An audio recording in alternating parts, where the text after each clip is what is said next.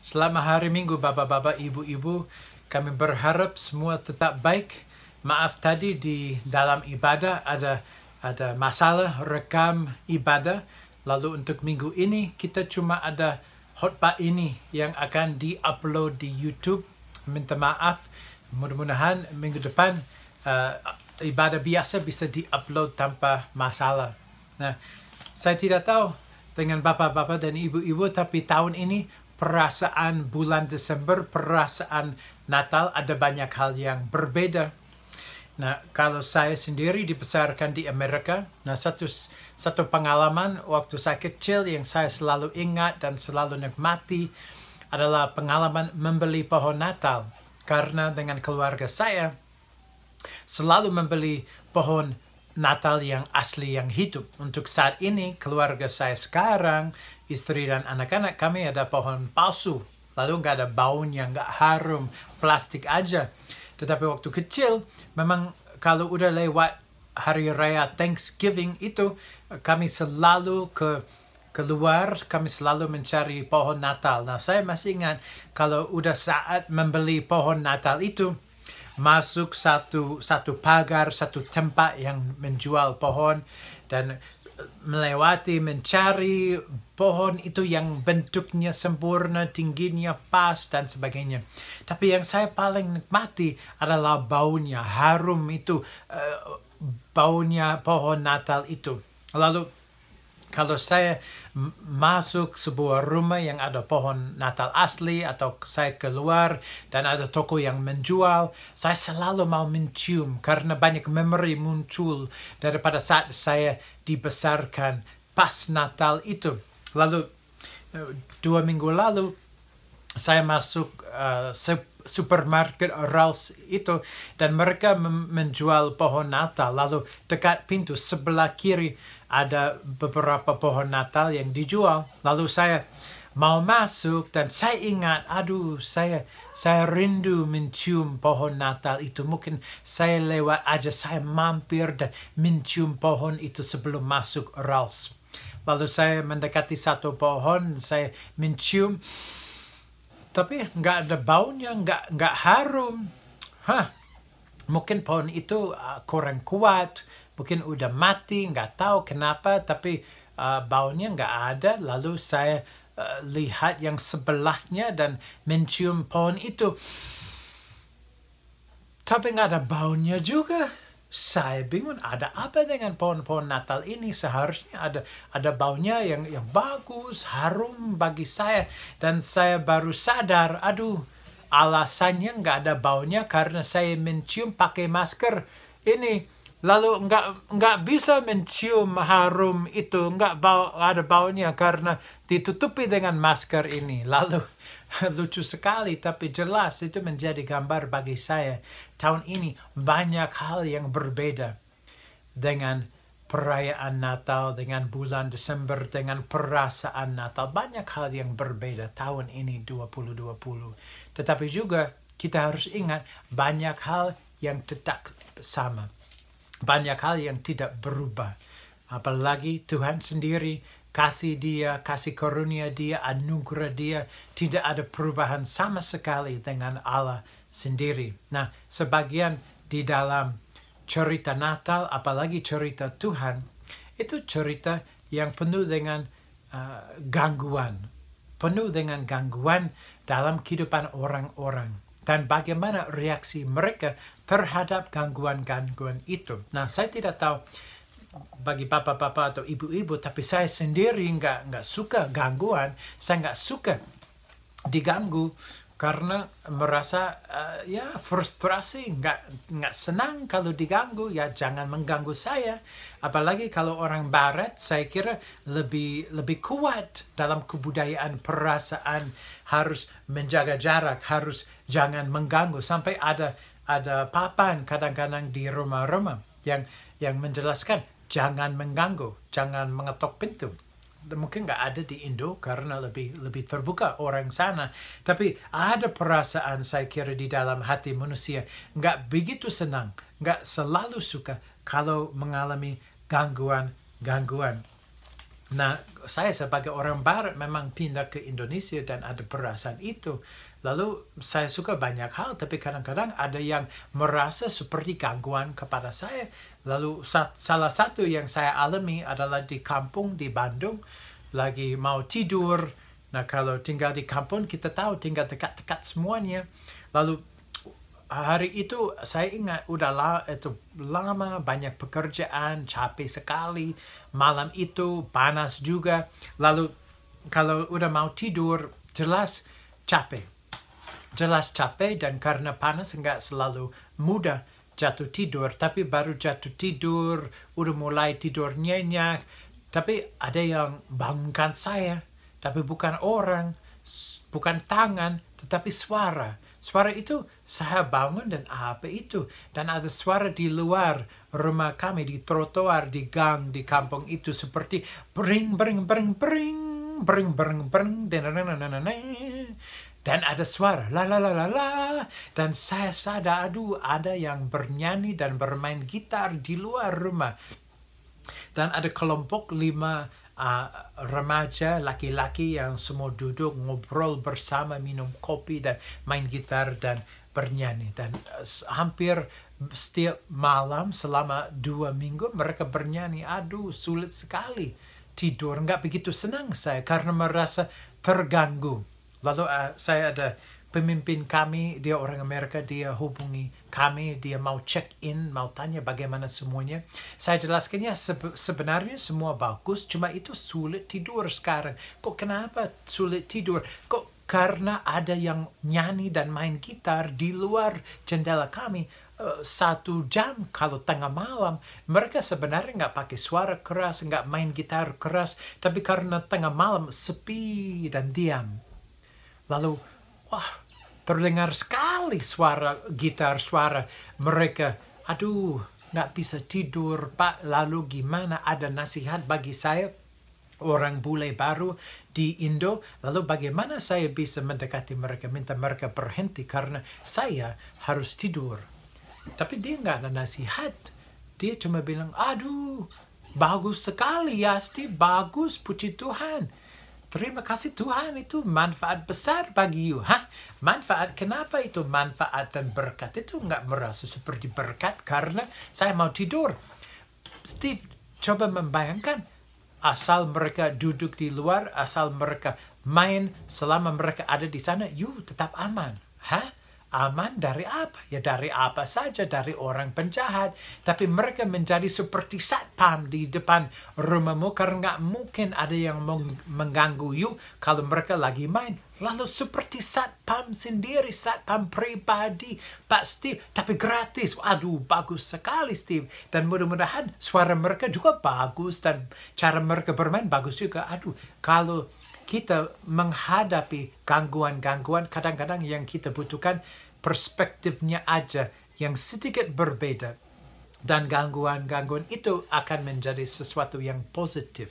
Lalu bagaimana kita kalau kita mengalami gangguan-gangguan dalam kehidupan, mungkin kita merasa frustrasi, mungkin kita merasa marah, tetapi juga kita harus mulai melihat perspektif lain.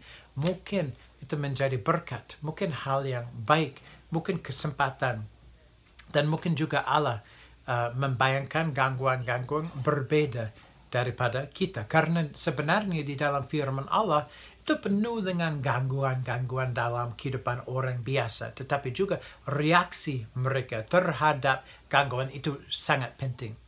Di dalam Alkitab kita melihat orang seperti Musa, Abraham, Daniel, sekelompok nelayan yang menjadi murid-murid Yesus, Paulus sendiri, dan juga di dalam cerita Natal kita melihat Maria dan Yusuf mengalami banyak tantangan dan gangguan-gangguan juga sendiri maupun sebagai keluarga. Kalau saya mau membaca dari Lukas 1 dan Matius 1 supaya kita dapat melihat bagaimana gangguan-gangguan ini bagi Maria dan juga bagi Yusuf sendiri. Lukas 1 ayat ke-28 dan 9 berbunyi, Ketika malaikat itu masuk ke rumah Maria, ia berkata, Salam hai engkau yang dikaruniai.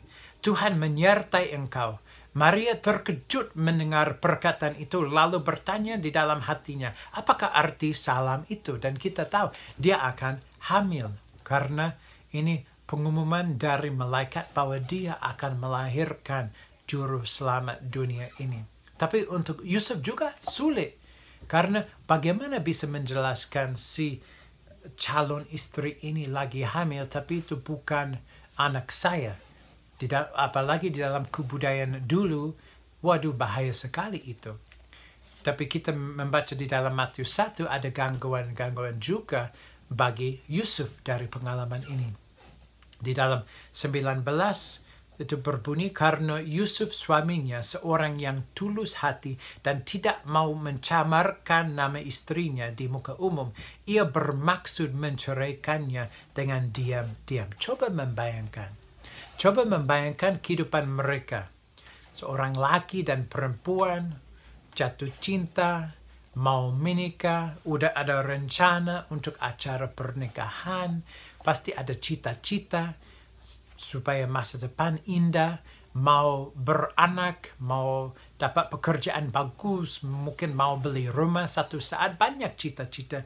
Tetapi tiba-tiba, waduh, you hamil?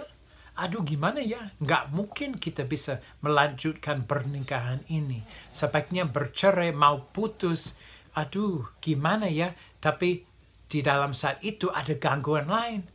Malaikat datang, dan malaikat itu bilang sama Yusuf, oh jangan, jangan, jangan memisah dengan si Maria ini, jangan putus.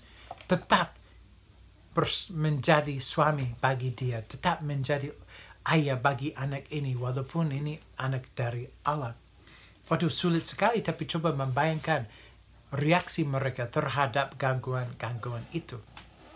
Nah walaupun ini awalnya kehidupan Yesus dan anak ini, kita juga melihat ada gangguan-gangguan lain di masa depan mereka juga di dalam Matius 2. Ada orang majus, majus datang dari timur dan kita membaca di dalam ayat 13 dan 14 di dalam Matius 2. Setelah orang-orang majus itu berangkat, nampaklah malaikat Tuhan kepada Yusuf dalam mimpi dan berkata, aduh, pasti Yusuf uh, udah capek dengan malaikat itu.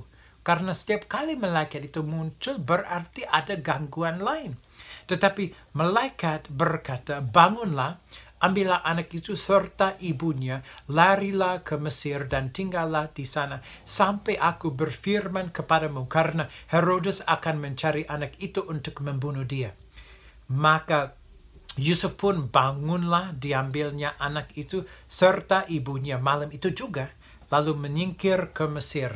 Nah, ini malam biasa atau mungkin kalau itu baru orang ma majus itu berangkat mungkin agak agak senang mereka mungkin agak excited agak agak senang mungkin agak sulit tidur tapi kalau udah tidur pasti ya tidur aja mungkin berdoa supaya tidur nyenyak mungkin berdoa supaya besok hari yang baik ya enggak enggak mungkin membayangkan apakah yang terjadi di dalam malam itu melalui mimpi itu tapi tiba-tiba Yusuf dibangunkan karena ada mimpi.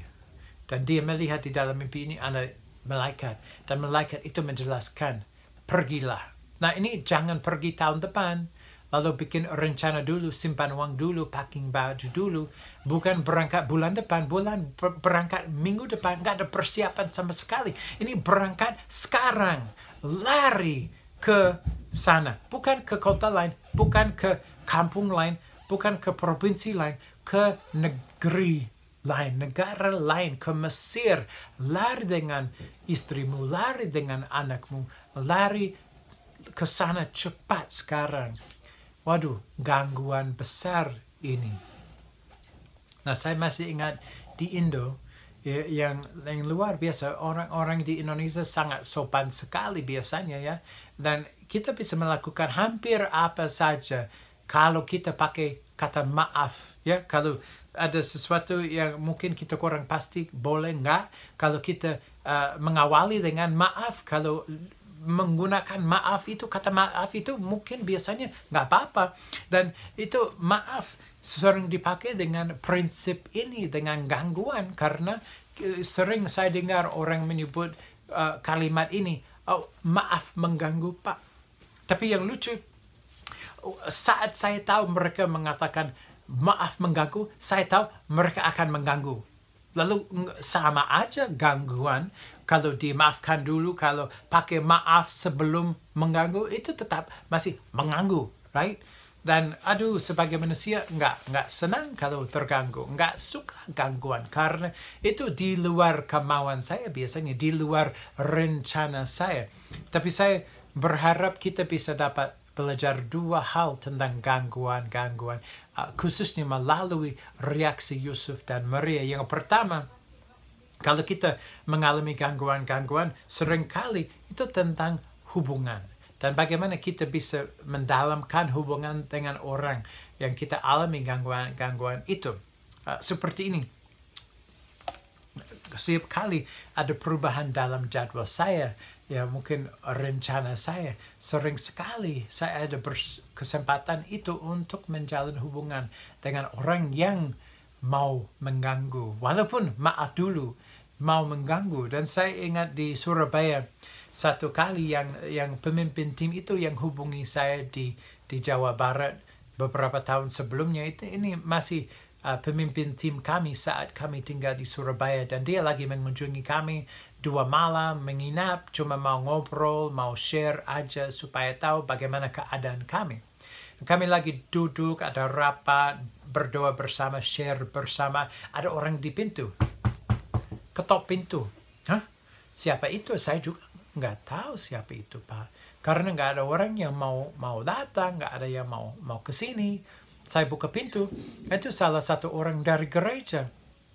Dan dia mengatakan maaf mengganggu ya. Maaf mengganggu pak. Tapi saya lewat aja mau mampir aja mau ngobrol ya maaf maaf sekali.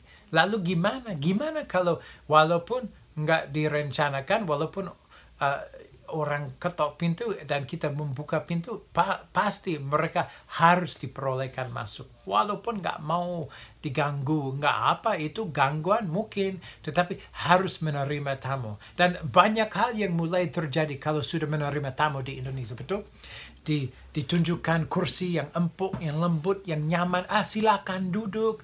Ya duduk. Ah, yang yang kedua harus memanaskan air. Kenapa? Karena harus kasih teh. Kalau kasih teh harus mencari gula karena itu lebih enak kalau lebih manis dan juga harus mencari snack dan seingat saya nggak ada snack kami nggak ada snack tapi ada buah, lalu untuk orang bule, boleh aja yang buah dimakan sebagai snack, tapi di Indo enggak, seperti cuci mulut.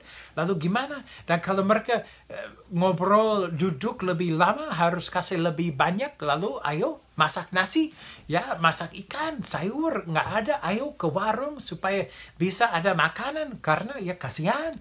Dan lalu walaupun nggak siap, waduh gangguan besar, karena nggak siap, nggak merencanakan untuk orang mampir. Lalu orang ini mungkin dua jam uh, ngobrol dengan kami, kami bercerita, kami bercanda, tertawa, kami main sebuah mainan kartu yang bernama Uno bersama dengan pemimpin tim juga. Mungkin setelah dua jam dia menjelaskan dia harus berangkat, dia ada janji, lalu dia pamit dan saya ke pintu juga dan kami ngobrol beberapa menit aja di pintu terus dia berangkat dan saya tutup pintu. Lalu saya masuk lagi dan pemimpin tim kami dia tanya lalu gimana? Tapi saya bingung ya gimana dengan apa pak? Ya dia ada apa dia? Saya nggak tahu pak dia ada apa? Nggak tahu apa maksudnya pak? Tapi dia apakah yang dia minta? Dia minta sesuatu dia perlu sesuatu dia ada perlu? Oh Enggak, setahu saya enggak ada perlu pak. Dia minta sesuatu? Enggak pak, dia dia enggak minta. Lalu kok kenapa dia mampir Steve? Oh, karena dia mau mengunjungi saja pak. Karena dia mau hang out aja. Karena dia mau visit aja pak. Itu saja. Oh, masa? Katanya, saya bingung. Saya sangat bingung saat ini. Lalu pemimpin tim, kami dia menjelaskan, aduh lama sekali Steve, saya saya nggak ada orang mampir di rumah saya. sangat ada orang mampir di rumah saya kecuali dia mau sesuatu, dia perlu sesuatu, dia minta sesuatu. Aduh, indah sekali, hebat sekali ya. Kalau ada orang mau mampir aja, cuma karena mau hang out, mau mengunjungi saja. Oh ya Pak, tapi biasa aja. Tetapi juga orang ini yang cukup berani, yang siap mengganggu kami sebenarnya menjadi salah satu teman paling dekat dengan kami di Indo. Ada beberapa orang saya bisa angkat, aduh orang ini, orang ini, orang ini, aduh mereka yang paling dekat dengan saya. Mereka sahabatku yang ada di Indonesia. Ada cuma beberapa, ya mungkin di bawah 10, tetapi orang ini salah satu dari sana. Nah, karena gangguan-gangguan itu menjadi kesempatan untuk menjalin hubungan yang lebih dekat, lebih akrab, ya, supaya kita mendalamkan hubungan itu, supaya lebih dekat. Nah, sama kalau kita mengikuti Allah. Gangguan-gangguan sebenarnya hal yang menolong kita menjalin hubungan yang lebih dalam lagi karena kita percaya kepada dia walaupun menghadapi gangguan-gangguan itu. Lalu kita bisa dapat melihat bahwa Tuhan akan memberikan gangguan-gangguan juga untuk alasan kedua, yaitu untuk membentuk karakter kita. Tapi tergantung reaksi kita. Tapi kita harus akui kehidupan tanpa Allah, kehidupan tanpa Yesus, dengan kehidupan dengan Allah dan dengan Yesus jauh berbeda. Lalu kalau kita hidup sebagai anak Allah dan kalau kita percaya kepada juru selamat yaitu Tuhan Yesus, berarti kita percaya ada Tuhan yang hidup, ada Tuhan yang aktif, ada Tuhan yang berbicara, ada Tuhan yang campur tangan dalam kehidupan kita. Lalu masuk akal sekali kalau Tuhan tidak membiarkan kita hidup aja, tetapi Dia akan mengarahkan kita dalam kehidupan.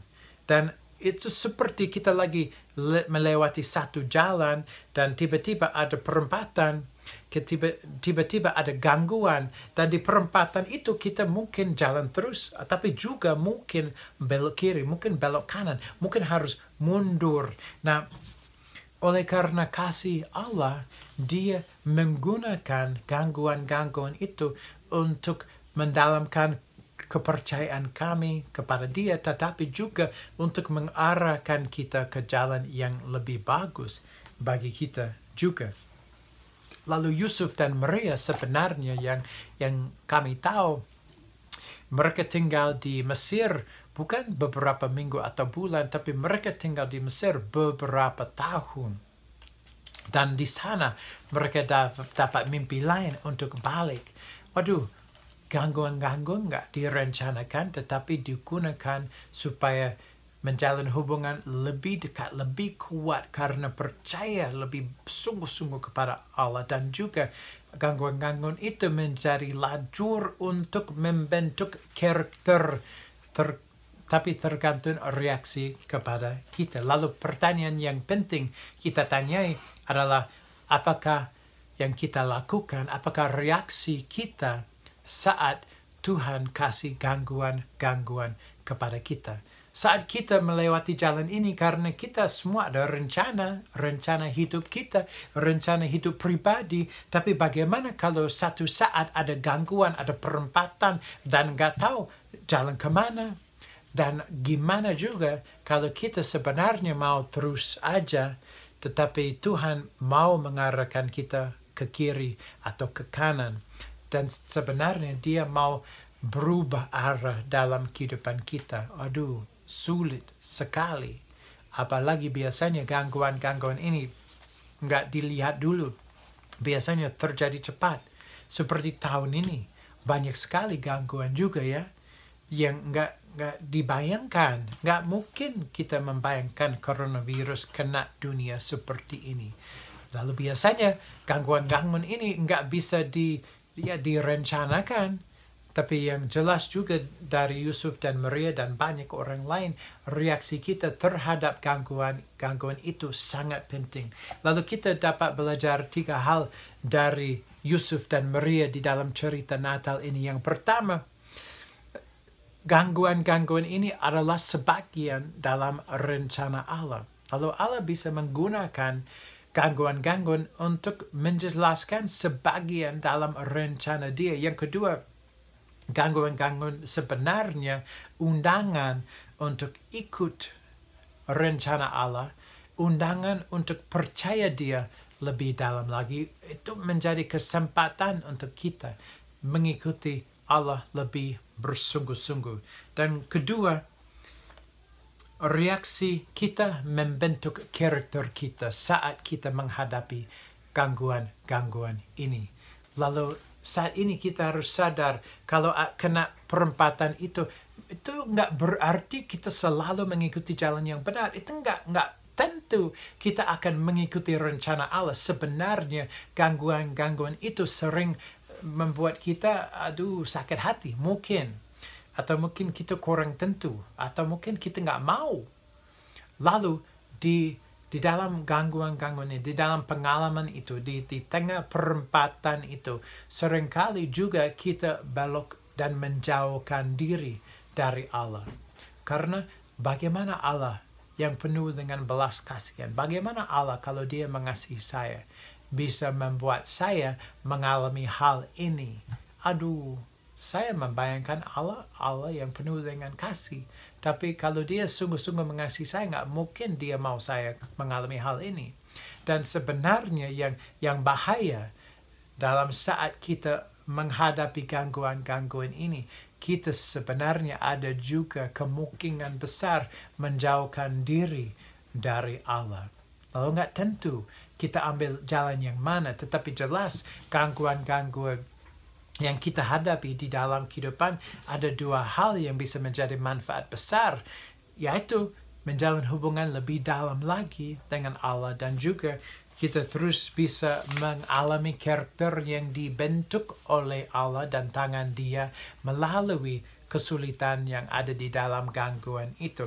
Lalu tahun ini penuh sekali dengan gangguan-gangguan, tetapi juga kita harus menanyakan, lalu iman kita lebih bersungguh-sungguh lebih kuat daripada dulu atau lebih lemah daripada dulu. Karakter kita lebih kuat atau lebih lemah saat ini, hari ini, dibandingkan enam bulan lalu, dibandingkan tahun lalu.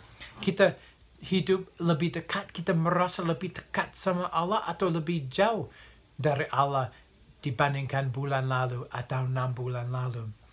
Lalu kita melihat Yusuf dan Maria mereka rela terganggu. Mereka rela mengalami gangguan-gangguan itu.